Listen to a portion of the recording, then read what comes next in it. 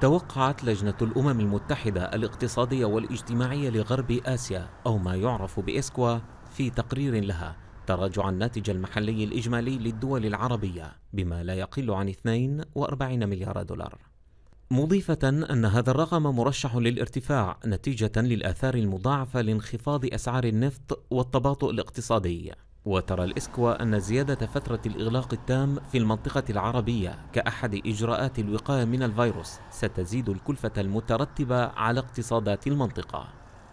يظهر تقييم اللجنة أن فيروس كورونا أدى لانخفاض أسعار النفط ما كلف المنطقة 11 مليار دولار من إيرادات نفطية صافية في الفترة الممتدة ما بين يناير كانون الثاني الماضي إلى منتصف الشهر الجاري.